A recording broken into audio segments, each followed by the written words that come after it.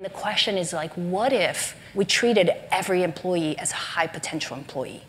How would we, how would that mindset shift our behavior? How would we engage people differently? And they've done, you know, many controlled studies where, you know, they, they will tell some teachers like, oh, these kids are, you know, scored really high on the SAT. And, and it's not true, right? They just pretend.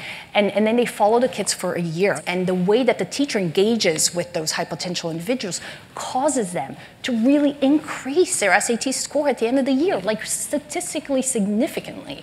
And so, so this is the first study that looked at these behaviors at work. And so we found that actually when leaders do that at work, it also enhances everybody's performance, which then drives business outcomes. We all want to work in a place that, that's really meaningful for us and that we feel connected with others, but it also drives business results.